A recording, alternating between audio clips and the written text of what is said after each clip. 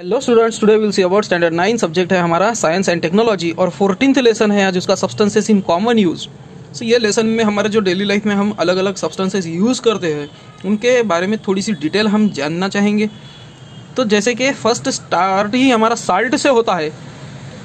The ionic compounds which do not contain H plus and O H minus ions and contain only one kind of cation and anion are called as simple salt simple salt किसको बोलेंगे?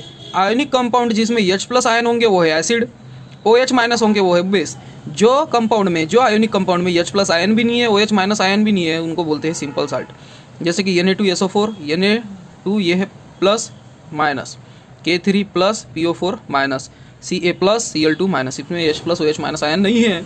ये सब example किसके है? Simple salt के. जो inorganic substances है they occur naturally in the form of salt rather than acid और बेस साल्ट ये जो इनऑर्गेनिक सब्सटेंस है, ये साल्ट के फॉर्म में मिलते हैं, अपने को एसिड्स और बेस इनके फॉर्म में नहीं मिलते हैं। About 80 million tons of salt are added every year to the sea water sea water में हर साल 80 मिलियन टन्स तक क्या होता है? साल्ट ऐड होता है। Therefore sea is said to be rich source of salt इसलिए तो सी को रिच सोर्स ऑफ़ साल्ट कहा जाता है। और सिर्फ़ ये एन जो हमको कॉमन साल्ट पता है वही नहीं। तो chlorine, sodium, magnesium, potassium, calcium, bromine, इन सबका साल्ट उसमें प्रेजेंट होता है। कुछ इंपॉर्टेंट साल्ट दिए, sodium chloride, magnesium chloride, magnesium sulphate, potassium chloride, calcium carbonate और मैग्नीशियम ब्रोमाइड, ये अलग अलग देकर है। उसके बाद है अब पिछले ही लेसन में हमने देखा था कि न्यूट्रल साल्ट क्या है।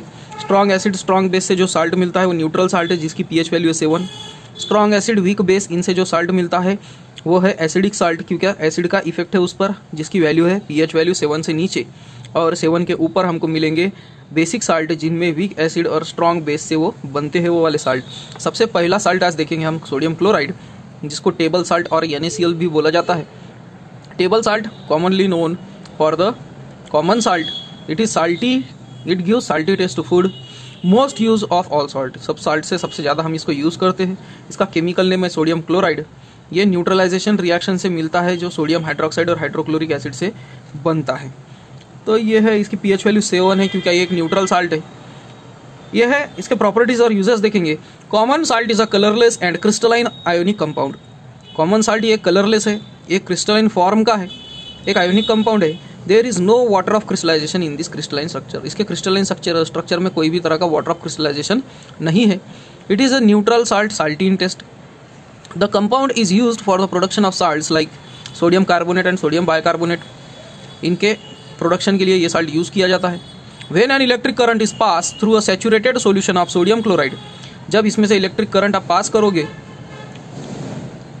it is electrolyse and hydrogen gas is release at the cathode ये इलेक्ट्रोलाइज हो जाता है, इसमें से हाइड्रोजन गैस कैथोड के पास रिलीज़ होता है क्लोरीन गैस ये एनोड के पास रिलीज़ होता है।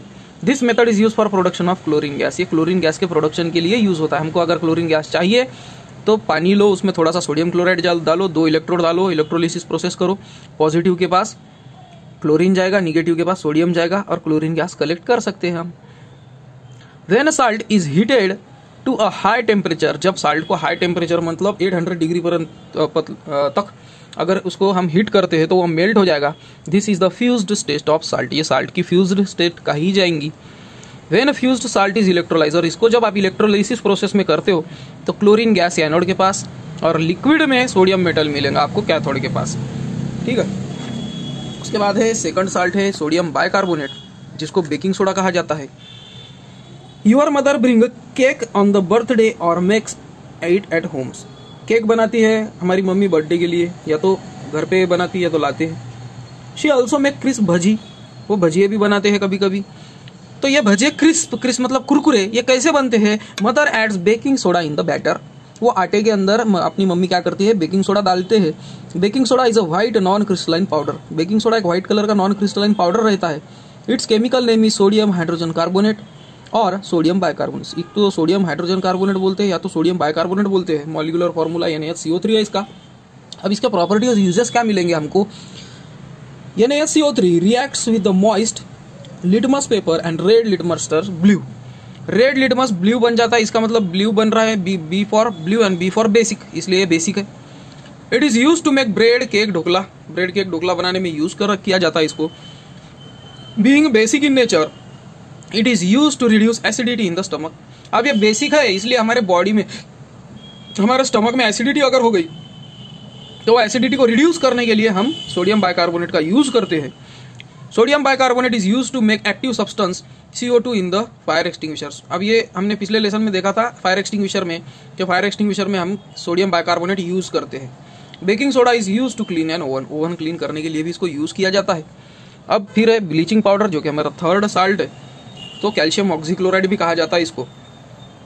बरसात के टाइम पे आपने देखे होंगे कि अपने आसपास के जो नल होंगे म्यूनसिपालिटी का नल या तो फिर जो कुआ होगा, उसके पानी में हमको एक स्ट्रांग स्मेल आती है और उसका टेस्ट भी हमको थोड़ा अलग लगता है। तो फिर हमारे घर पे कहते आज पाउडर डाले शायद, बोलते। है ना? तो ये होता कब है कि उसमें ब्लीचिंग पाउडर डाला जाता है, क्योंकि पानी जब बरसात में क्या होता है, पानी खराब हो जाता है। क्यों खराब होता है कि आसपास की मिट्टी बहकर आती है। हार्मफुल माइक्रो ऑर्गेनिज्म बैक्टीरिया उसमें आ सकते हैं। तो उनको क्लीन करने के लिए, उनको मारने के लिए ऑक्सीजन का सप्लाई पानी में बढ़ाने के लिए क्लोरीन गैस का यूज़ किया जाता है। तो क्लोरीन गैस ये ऐसा गैस है कि जो पानी को प्यूरिफाई कर देता है। प्रॉब्लम एक है कि क्लोरीन गैस होने के साथ उसको हैंडल करना हार्ड जाएगा ना, क्योंकि कोई भी गैस को हैंडल करने के लिए आपको टैंक चाहिए, उसको प्रेशर में दबा कर रखना पड़ेगा, उसको एक जगह से दूसरे एक जगह लेके जाना प्रॉब्लमेटिक रहता है। इसलिए क्या किया जाता है कि ऐसा पाउडर बनाया जाता है कि जिसमें क्लोरीन गैस है। जब उसको पाउडर में, जब वो पाउडर को पानी में डाल देंगे तो उसमें से क्लोरीन गैस निकल जाएगा और वो क्लोरीन गैस क्या कर देगा? पानी में ऑक्सीजन की सप्लाई बढ़ाएगा। इसका मतलब ऑक्सीडाइजिंग एजेंट बोलते हैं उसको। पानी में जो इन्फेक्टिंग बैक्टीरिया है, उसको डिसइंफेक्ट कर देगा। तो इसलिए पाउडर फॉर्म में यूज़ किया जाता है। वो पाउडर फॉर्म क्या है? Bleaching powder calcium oxy chloride और इसकी रिएक्शन होती है फिर कार्बन डाइऑक्साइड से कैल्शियम कार्बोनेट और क्लोरीन गैस बनता है। ये क्लोरीन गैस ही क्या करता है? पानी को डिसइंफेक्ट करता है। सो ब्लीचिंग पाउडर मिलता कहाँ से है? So bleaching powder is obtain by the reaction of chlorine gas with slaked lime slake lime को अगर आप क्लोरीन गैस के साथ रिएक्ट करते हो तो आपको क्या मिल जाएगा? ब्लीचिंग पाउडर मिल जाएगा। ओके तो ये है उसका एक प्रॉपर्टी क्या इस तरह से हम ब्लीचिंग पाउडर यूज़ करते हैं। उसके बाकी के भी कुछ यूजेस है। So bleaching powder is a yellowish white coloured solid substance ये एक थोड़ा सा येलो उसका फेड आएगा थोड़ा सा। शेड आएगा येलो कलर का व्हाइट कलर का एक सॉलिड सब्सटेंस है। केमिकल नेम कैल्शियम ऑक्सीक्लोराइड है it has a strong odour of chlorine gas इसमें से क्लोरीन गैस की स्ट्रॉन्ग स्मेल आएगी आपको। It is use for disinfection of drinking water at the water work and the water in the swimming pool पीने का पानी swimming pool का पानी, इसको डिसइंफेक्ट करने के लिए क्लोरीन यूज़ किया जाता है। It is use for bleaching of cloth cloth को साफ़ करने के लिए भी इसको यूज़ किया जाता है। रोड साइड का जो गार्बेज साइड का जो सड़ा हुआ जो कचरा रहता है नाली वगैरह में से जो स्ट्रॉन्ग स्मेल आती है, जो कचरे की, उसमें अगर ब्लीचिंग पाउडर आपने डाल दिया तो उसको डिसइंफेक्शन हो जाएगा, वो पूरा डिसइंफेक्ट हो जाता है और उसका जो स्ट्रॉन्ग खराब स्मेल था, वो चला जाता है। Dilute sulphuric acid and dilute hydrochloric acid react rapidly with bleaching powder to release chlorine gas completely अगर डायल्यूट सल्फ्यूरिक एसिड या तो फिर हाइड्रोक्लोरिक एसिड अगर आपने यूज़ किया ब्लीचिंग पाउडर के साथ तो उसमें से क्लोरीन गैस पूरी की पूरी तरह निकल जाता है। और कैल्शियम ऑक्सीक्लोराइड जो ब्लीचिंग पाउडर का सेकंड नेम है it react slowly with carbon dioxide to form calcium carbonate and chlorine तो ये जो रिएक्शन है कि ब्लीचिंग पाउडर कैसा मिलता है तो ये एक थोड़ी स्लो रिएक्शन है। ठीक है? तो ये था ब्लीचिंग पाउडर का यूज़ उसके बाद है वॉशिंग सोडा जिसको कैल्शियम कार्बोनेट कहा जाता है। सॉरी सोडियम कार्बोनेट कहा जाता है। The hard water from well और bore well become soft on adding washing soda अब कभी कभी क्या होता है पता है क्या? कोई जगह पर कोई कुएँ का पानी आपने अगर लाए या बोरवेल का पानी लाए तो आप कपड़े अगर धोने के लिए गए, हमारी मम्मी अगर कपड़े धोने के लिए जाती है तो उनको नहीं क्या कपड़े धोने में प्रॉब्लम जाती है। क्यों क्या? फेस तैयार नहीं होता, झाग तैयार नहीं होता, जो बबल्स है वो फॉर्म नहीं होते। अब वो बबल्स अगर फॉर्म नहीं हो रहे हैं तो फिर वो क्लोथ, वो कपड़ा अच्छी तरह से क्लीन नहीं होता, वो पानी को बोलते हैं हार्ड वाटर। अब हार्ड वाटर का दूसरा भी मीनिंग है क्या क्लोराइड्स और सल्फेट किसके, कैल्शियम और मैग्नीशियम के, अगर प्रेजेंट होंगे पानी में so that salt make the water hard वो उसको हार्ड बना देते। इस टाइप में फिर हम कपड़े धो नहीं सकते तो फिर प्रॉब्लम क्या ये सॉल्व कैसा होगा? तो हम क्या करते हैं, उसमें निरमा पाउडर डालते हैं। निरमा पाउडर घड़ी डिटर्जेंट जो है सर्फ एक्सल वगैरह, वो हम उसमें यूज़ करते हैं। तो वो क्या है? वो है वॉशिंग सोडा ये वॉशिंग सोडा क्या कर देता है पता है क्या? जो सपोज़ मैग्नीशियम के कि नहीं तो कैल्शियम के जो साल्ट है और सल्फेट है यानी क्लोराइड और सल्फेट जैसे कि यहाँ पे मैग्नीशियम क्लोराइड दिखा करे, इसके साथ ये रिएक्ट करता है तो मैग्नीशियम कार्बोनेट और एनएसीएल एनएसीएल तो है न्यूट्रल इसलिए चलो इसका काम खत्म हो गया। और मैग्नीशियम कार्बोनेट ये हमारे कुछ काम का ही नहीं, इसलिए पानी क्या हो गया? आप सॉफ्ट हो गया, और सॉफ्ट होने के बाद पानी उसमें अच्छी तरह से झाग तैयार होगा, और झाग अगर तैयार हो गया बबल्स अगर तैयार हो गए तो उसमें से हम इजीली कपड़े हमारे साफ़ कर सकते हैं। दूसरी बात है कि सोडियम कार्बोनेट, ये वाटर सोल्यूबल साल्ट है, सोडियम का। ये पानी में मिक्स हो सकता है।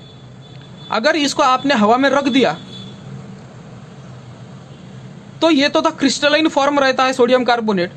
और ये वाटर ऑफ़ क्रिस्टलाइजेशन इसका निकाल देता है। वाटर ऑफ़ क्रिस्टलाइजेशन मैंने पिछले वीडियो में एक्सप्लेन किया था अब इसमें एक्सप्लेन नहीं करूँगा मैं।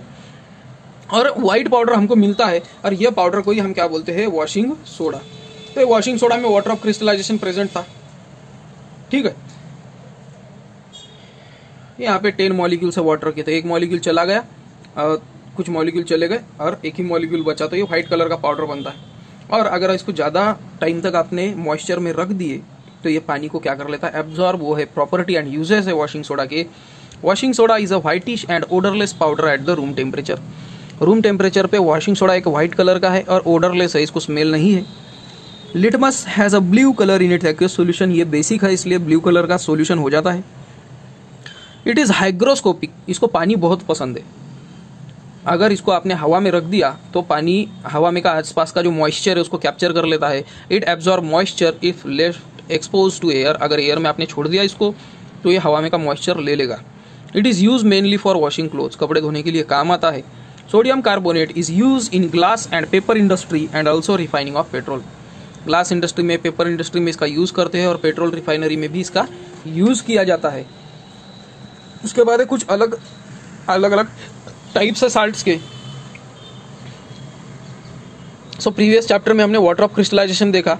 तो कुछ साल्ट है, उसमें भी वाटर ऑफ़ क्रिस्टलाइजेशन प्रेजेंट है, जैसे कि alum borax Epsom salt barium chloride sodium sulphate ये देखो वाटर ऑफ़ क्रिस्टलाइजेशन इसके अंदर प्रेजेंट है। ऐसा वाटर के जिसके वजह से ये मॉलिक्यूल्स वाटर को पकड़ के क्रिस्टल बन जाते हैं, वो है वाटर ऑफ़ क्रिस्टलाइजेशन हाँ? उसके बाद है एल्यूम ये वाटर प्यूरिफिकेशन में यूज़ होता है क्योंकि इसके अंदर प्रॉपर्टी है कॉग्युलेशन की। कॉग्युलेशन मतलब जो कचरा होगा पानी के अंदर, उसके कचरे के मॉलिक्यूल्स को एल्यूम के मॉलिक्यूल्स पकड़ लेते हैं और फिर उसको स्टिक हो जाते हैं। उसके वजह से वो मॉलिक्यूल भारी हो जाएगा और भारी होने के बाद पानी के नीचे जाकर बैठ जाता है। That's white settle to the bottom and as a result water above becomes clear और ऊपर का पानी क्लियर हो जाता है। ब्लू विट्रॉल ये ब्लड टेस्ट के लिए यूज़ करते हैं एनीमिया के टाइम बोर्डक्स मिक्सचर जो फंगीसाइड यानी फंगस नहीं लगना चाहिए फ्रूट्स जैसे कि grape musk melon slake lime musk melon grape इनको फंगी नहीं लगना चाहिए फंजाई नहीं लगना चाहिए, इसलिए ब्लूविट्रॉल यूज़ किया जाता है। उसके बाद है सोप तो वेन ऑयल और animal fat is boiled with an aqueous solution जब ऑयल होगा एनिमल फैट होगा, जब इसको बॉइल करते हैं, किसके साथ? एक्यो सोल्यूशन ऑफ़ सोडियम और पोटेशियम हाइड्रोक्साइड सोडियम हाइड्रोक्साइड के साथ नहीं तो पोटेशियम हाइड्रोक्साइड के साथ जब इसको बॉइल करते हैं तो तब सोडियम या तो पोटेशियम का साल्ट कौन सा? कार्बोक्सिलिक एसिड वाला, जिसको फैटी एसिड कहते हैं, वो फॉर्म होता है, और यही सॉल्ट्स को क्या बोलते हैं?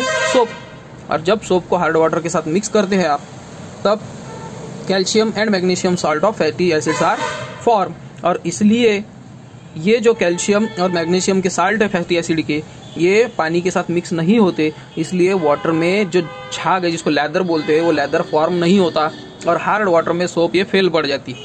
मतलब वह काम कौन आता है? वॉशिंग सोडा ओके उसके बाद है रेडियो एक्टिव सब्सटेंसेस तो ये देखेंगे हम नेक्स्ट पार्ट में, क्योंकि वीडियो बहुत बड़ी हो जाएँगी। तो इतना वीडियो देखने के लिए थैंक यू मिलते हैं नेक्स्ट वीडियो में। Till then bye